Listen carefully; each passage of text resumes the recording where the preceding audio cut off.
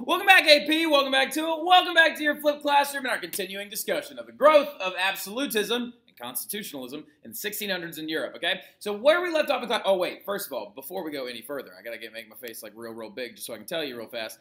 Y'all blew me away today in class. Absolutely blown away. That is exactly what I love my class to be every single day. Y'all enjoyed it. We had a good time. Y'all just kind of like, we talked about, y'all requested songs. We talked about The Descendants, and now I've never seen it. It's absolutely awesome. Keep up the good work. I'm so impressed by all of you y'all this AP group, y'all are like just just growing up. You're doing great things, okay? Very impressed. But let's get after it real quick, and I'm gonna clip in an old flip in about two seconds so y'all can kind of finish up the content because it's just really good. The one that I recorded like like two years ago is just really really good when it talks about the rise of the Bourbon dynasty. So the big thing about it though is we left off talking about the traits of an absolutist government, right? We got cut off by the bell a little bit, and you're on to run out. And so we were talking about first of all the ABCDs of like absolutism, right? Absolutism being the A, and then the bureaucratic government or a multi-level government being the B the centralized government, or the being ruled from one key location, being the C, and then the divine right to rule, which being the D. Okay. Now, by the way, again, remember though, divine right to rule is probably one of the most important premises of absolutism because it literally kind of ushers in the idea that these kings believe that God placed them there on purpose, right? That's also kind of encouragingly gives them power over the church because they are claiming that God placed them on the throne and that no man can take him off, right? So the going into it though as well, you can really, really see the growth of all these things, particularly when you're talking about the rise of the Bourbon dynasty aka the old Burgundians. All right, so like now, like so, big thing about it, all you need to know is they're known as the Bourbons. Okay, like now, the Bourbon dynasty will rise up in France, and they really demonstrate to us a monarchy that has all of these things. Right. We'll also talk about the Russians and stuff like that, the Romanov family in Russia that will rise up as well, and they demonstrate the ABCDs of absolutism as well. But nobody does it like the French did. Okay. Now going into it though, speaking of, we got to talk about a couple of other practical elements of all absolutist leaders. Okay. So every single absolutist leader did a couple of those things, right? One, another big thing they're going to do, they're going to increase infrastructure, they're going to build more roads and stuff like that. Two, they're going to focus on language barriers, and they're going to try and govern the people that they can actually communicate with. And then also, they're going to have that bureaucratic government, that centralized government, that divine right rulership, right? The other thing that they're going to do, though, as well, is you need to understand what they're going to do with their military. And the thing that we're talking about right now is just thematic things that most absolutists had, right? So the thing about it, first and foremost, to get away from that feudal style military, absolutist rulers are going to get make it vague. Blah, blah, blah. Our absolutist rule. Let me start that over again. Rewind. Calm down. Breathe a second, Mr. Terry. You don't have to freak out, and you don't have to ramble. It's okay. Absolutists are also going to usher in the concept of professional militaries. So, we talked about this in class today. Feudal militaries are those funky little things where every single time you're going to go to war, you would have to actually call up a noble, or a series of nobles actually. They would then collectively bring together a military, pay for it on their own, show up with the king with the promise of being able to loot, plunder, and get a piece of whatever they conquest and conquer, right? So the thing about it, though, is, is if the king who is rising up has enemies, those nobles that don't like him, that actually do live in his country but don't like him anyway, they aren't going to show up. And it's also, this can be elementally seen in things like the War of the Roses, because nobles don't also always necessarily get along. And also, nobles oftentimes, before the reign of absolutists, believed that they were right on the same level as the absolutists themselves, or about on the kings themselves, right? Like the Tudors rose up out of the Lancaster dynasty, right? Or and then literally the Yorks were the other family. So the thing about it that we need to understand is that feudal military is very, very weak, and it kept kings weak for a really long time. But what instead is going to happen is absolutists are going to create what's known as professional militaries by raising a formal, year-round paid military. This is going to start being when you see absolutists dress their militaries a certain way. They will all have in uniforms. They will all have certain weapons. They will all have standard issued like swords. They will all also be wear or like be in a system where also to try and get the nobles to be happy that like the absolutists will appoint the nobles as officers of the military. You see what I'm talking about here? The professional military aspect though then also gives the absolutists a military that can be deployed at any moment so they can go to war and grow their like land at any second, okay? Army sizes in the 1600s are going to triple by comparison to what they were during the 1500s. They also are going to come in as well. Absolutists are going to come in and they heavily supported sciences and the growth of the scientific revolution that's going on in the background. Just so you have to understand or a big understanding of this, the 1600s is a mash of stuff going on, right? The scientific revolution is happening right around the exact same time that the absolutist power is beginning to grow. Because the scientific revolution happens on the heels of the Renaissance, and all of that stuff kind of finally started like kind of coming to a little bit of a close-ish that you could refer to it as around the 1580s. And then starting in the 1600s, you have the growth of people like Sir Isaac Newton, who is a scientist, scientific thinker absolutists and kings and queens love to support the sciences because it makes their country a little bit more profitable. And if they discover something awesome, then they actually, of course, are going to be able to profit off of it, right? And the key thing that all absolutists wanted to do is they wanted to weaken the power of the nobles as much as possible so they could actually grow their own power. But what we're going to do right now is I'm going to clip in that old flip real quick. I'll see y'all soon. Keep up the hard work. Love what y'all are doing.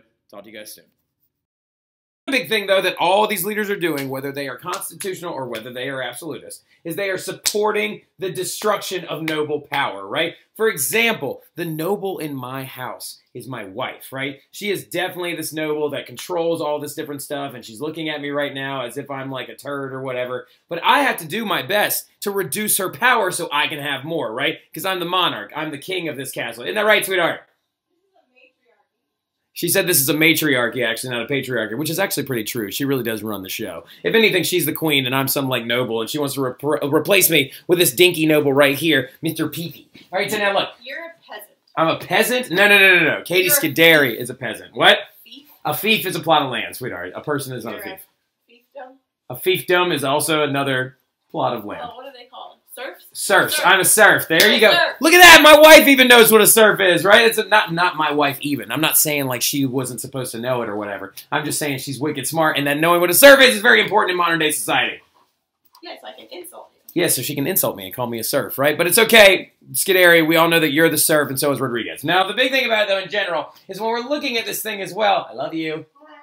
So like now, big thing though about it as well is we're gonna focus our like actual like look, our magnifying glass, our first large like look at an absolutist monarchy in France, right? So let's go ahead and start off with the Bourbons, right? So the Bourbons are going to become the biggest monarchical family and the absolute monarchy family that is going to exist in France, right? So with that, you got to understand some little elements of these different ideas, right? So the Bourbons are going to come to power under, under none other than Henry IV. Now remember, we talked about Henry IV already. Henry IV is the guy that waged the fifth through the seventh, or the, wait, fourth through the seventh French Wars of Religion, right? I know that Olivia remembered that really well when we came in. We talked about it, but we had to make sure because Olivia called me out on my mix-up and stuff like that. And like in my uh, last flip, Henry IV is that same guy that converted from Protestantism to Catholicism, then converted back, then converted back again. Because remember, never forget that Paris is worth a mass, right? Henry IV is going to become the leader of the French royalty and going to become the king of France, and he's also going to be known as Henry the Great for his ability to stop the French wars of religion and to pass a very important document known as the Edict of Nantes. And the Edict of Nantes, of course, said that Protestants could freely practice if they so chose, and that no city in like Paris or in France should be suppressing the practice of any other religion, right? So the other big thing that you need to understand about it is his wife's name is Marie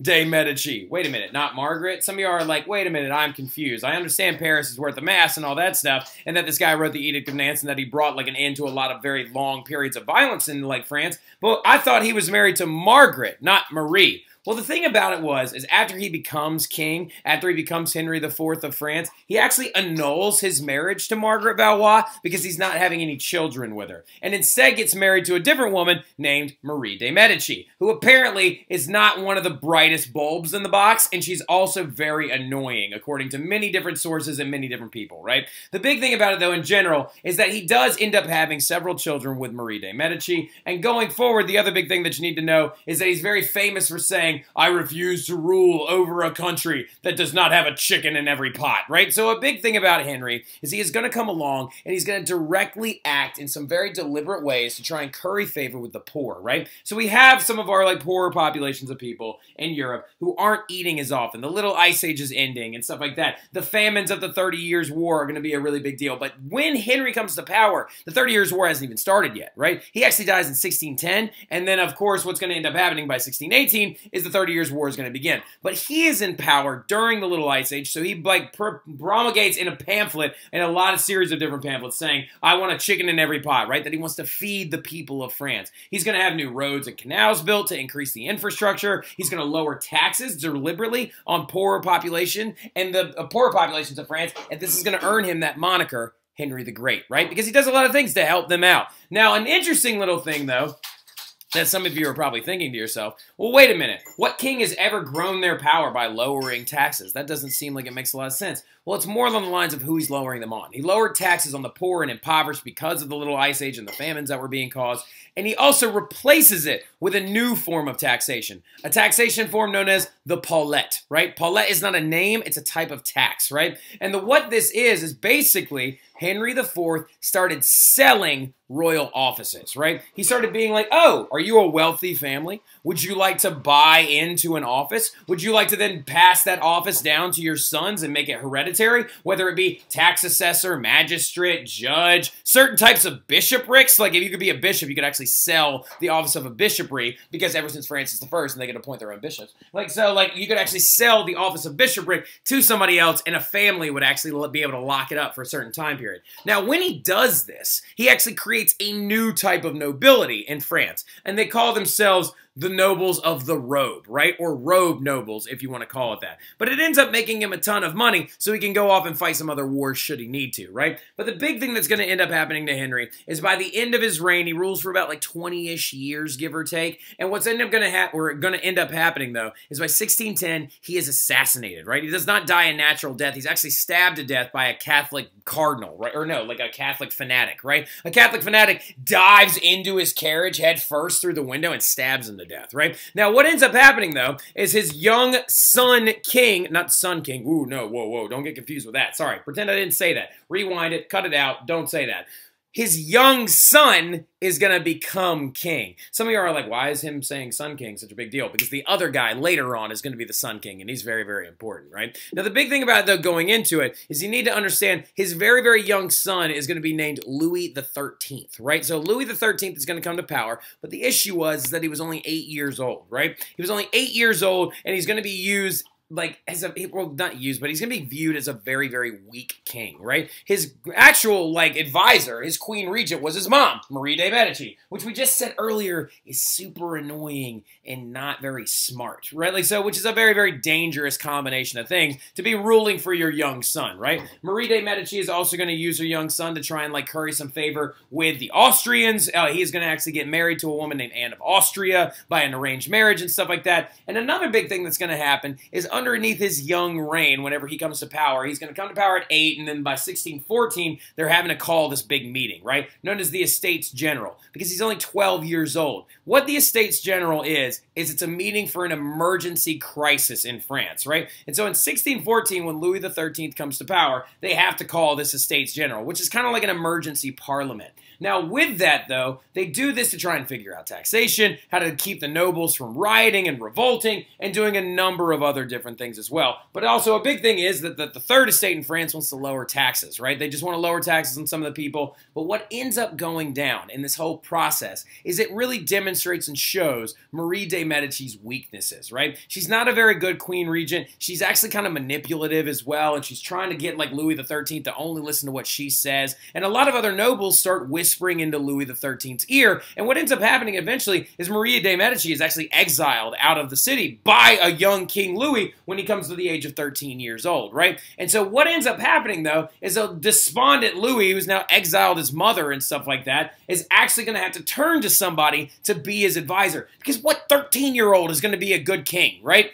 And the guy he turns to is none other than Cardinal Richelieu the real true leader during Louis, Louis XIII's reign, right? So when Louis XIII comes to power, he's very, very weak. He's easily manipulated, and he's also easily manipulated by his mom, right? Actually, at one point, Marie de Medici, like, they, like, got back together for a little while. Like, Louis XIII, like, actually started talking to his mom, Marie de Medici, again for a little while. And there was this really, really famous event in 1630 called the Day of the Dupes. And, like, dupes means, like, stupid people. Um, so, and what ended up happening is Marie de Medici First of all, only reason that she was allowed to talk to Louis XIII again is because Cardinal Richelieu convinced him to be like, hey, look, man, it's your mom, you know what I mean? Maybe y'all can mediate this and figure it out. And then Marie de Medici shows back up and it's just like, well, Cardinal Richelieu's a big stupid head and you should listen to me instead of him. And then, like, Louis XIII exiled or got rid of Cardinal Richelieu for less than a day. Like, did it for less than a day and then was like, I'm, I'm just kidding, I'm sorry. Like, so that's how weak Louis XIII was. Cardinal Richelieu, on the other hand, is a very, very strong leader, right? Very pragmatic, very, very smart, wildly intelligent, has been a bishop since a very, very young age because his family is one of those Paulette families, right?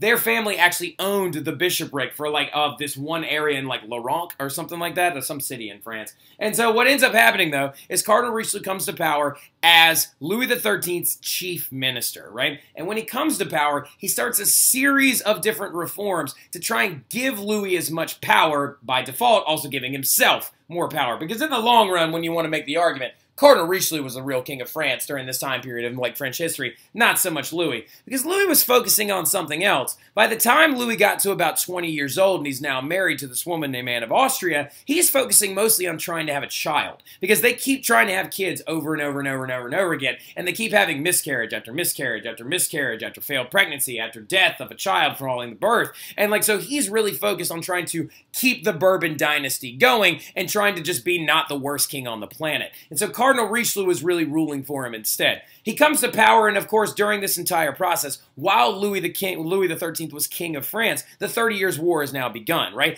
eight years into his rulership, when Louis XIII was 16 years old, is when the Thirty Years' War is going to start in 1618. Now, looking at it as well, the Thirty Years' War is going to be raging, of course, for its first two phases, the Bohemian and Danish one, mostly isolated away in the Holy Roman Empire. But of course, Cardinal Richelieu, seeing the Catholic forces in the first two phases of the Thirty Years' War gaining too much power and getting too many victories, it's not that he doesn't like that they're Catholic victories, he doesn't like that they're Habsburg victories, right? And so this actually becomes a very, very big moment in his like entire tenure as chief minister of like the entire French government because he becomes commander of France during that 30 Years' War. And he starts deliberately funding those Protestant armies under Gustavus Adolphus to try and weaken the Habsburg family and give France more power and kind of reassort that kind of balance of power, right? Now, in this whole process, Cardinal Richelieu becomes very, very popular in France, but very unpopular everywhere else, right? And another big reason why he becomes so popular in France is because he's trying to give more power to the king, right? A lot of locals and like very regular people and the middle class and merchants and guild workers and traders were really, really disgusted with how much power the nobles had, right? They didn't like how much power the nobles had because they were like, look, if I'm going to be ruled over by somebody, I'd rather it be like a good Machiavellian king. Honestly, like Richelieu is very Machiavellian in a sense. They were like, I'd rather be ruled over by somebody like that than be ruled over by somebody like my noble who could change at any minute and then also who like is also just not a good leader and is not very smart, right? So the thing about it is what Cardinal Richelieu comes along to do is he decides to try and replace the power of the nobles with a new system. And he creates this thing known as the intendant system, right? The intendant system is basically a setup network, a bureaucratic multi-level government setup network where every single region of France would have what's known as an intendant, right? And the intendants would do whatever the king told them to do, right? Giving a crap load of power to the Bourbon monarchy and to the monarchs at the time, right? The intendant system also went against an old system that already existed in France known as the parlements, which sound like the most French thing you've ever heard of in your entire life. Parlement. And some of you are like, don't you mean parliament? No, I mean parlement, because that's what they called it. And you don't want it to get confused with the British parliament, right? So the big thing about it, though, is the intendant system actually went directly against the parlements, because what was the parlements? The parlements were these councils of nobles that actually wrote everything the king said into law basically giving the parlements a little bit of power over the king because they could just choose not to listen to them and be like, oh, we didn't write it today, we'll write it next week. Oh, we didn't write it today, we'll write it next week. And so what ends up happening, though, is the intendants carry the word of the king directly to the people, rather than depending on the parlements to write these laws into power, right? So what he's going to do also is he's going to destroy Protestant communities. He's going to go and wage war directly on the city of La Rochelle. And in this very, very famous painting of him, he's just being an absolute boss, right? Known as the Crimson, like, wait, what was he called? What was he called? Like, he was like the Crimson Bishop or something like that. Ugh, he had a nickname because of the, that red robe that he wore all the time. Uh, Richelieu. Crimson. All right, so Crimson nickname. all right, so like, what was his name? Sorry, I had to look it up. He was known as his Red Eminence, right? Red Eminence because of the red robe that he wore. And look at him right now just crossing his arms and watching the destruction of a French city, right? Like he literally is destroying the French city of La Rochelle because the Huguenot nobles there were gaining too much power and he wanted to install intendants and also prevent and expel the English intervention. So an interesting little thing is that these are English boats out in the water that are trying to help Protestants in La Rochelle. And this dude doesn't even care. And he's got literally these like other, these bishops over here here holding his hat for him while he watches the city get destroyed. This dude is aggressive. He sides with the Adolphus to ruin the uh, to weaken the Habsburgs, and in the entire process, he even picks all of the people that hang out with Louis XIII firsthand. Picks his friends for him so they will advance the powers of the king rather than the powers of the nobles. He also uh, multiple times people try to assassinate him, like multiple different times. But the only reason that no one ever gets to him or assassinates him is because he has a network of spies inside of the royal court that will actually keep him safe. And that raises the question, is Cardinal Richelieu like a good or a bad guy? It's really, really hard to actually kind of make that decision because he like killed a bunch of his own people, but he also weakened the Habsburgs. And he also like sided with Gustavus Adolphus, which was a very, very big Protestant leader who was going to come along and try to like tip the like balance of power. But then he also kind of supplanted the power of the king at the exact same time. So it's a very, very interesting little thing. And also, fun fact, the front of his face was stolen at one point. So when he died eventually in 1642, this is actually his face. They actually took his head off of his like body, mummified it, and then replaced it and buried him with it. But in the French Revolution, someone stole it. And they eventually got it back in the 1890s and stuff like that. But that is literally Cardinal Richelieu's mummified head that was stolen during the French Revolution. Now, the other interesting thing that's going on right now as well is that what is going on? We need to understand this we've got multiple different types of nobles, right? So something that we need to understand really quickly. I just earlier was talking about Henry IV and the creation of the robe nobility, right? Well, let's chat really, really quickly about what the difference between these robe nobles and sword nobles that Cardinal Richelieu is trying to weaken their power, right? So the robe nobles are the ones who bought their way into office. They're like the new guys on the streets. They are not based in tradition. They purchased an office, and that's how they were allowed to have it. It was a one-time payment, and they actually were allowed to collect taxes and actually do all these other different things, and were very prominent throughout most of European or French history. Now, why are they so powerful? Due to the fact that they have a very large, prestigious position in society. They can help collect taxes, and they don't pay much of them at all. Now, what about the sword nobles? The sword nobles are the other type of nobility that hates the idea that the power of the king is growing at all. They are not fans of this whatsoever because sword nobles earned their nobility through military service to the king, right? They earned their nobility through military service and they didn't want to give up any of their power, right? But why are they so powerful? Because they control militaries. Well, the thing about it is Richelieu is going to reduce their power and the intendants are going to cut out much of that power and Richelieu is going to replace many of them in court with lower ranked robe.